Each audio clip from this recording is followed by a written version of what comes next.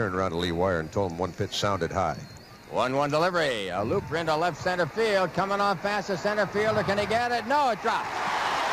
Boy, Gwynn just laid one in there in front of Gerald Young. And Billy Hatcher, the shortstop, is going out. Nobody got to it. Gwynn gets rolling with a base hit. Well, Gerald Young took two steps back on that, and that's really not studying the hitter very well. Here's Alomar, and he's getting quite a hand, and that's 1,000 hits for Tony Gwynn.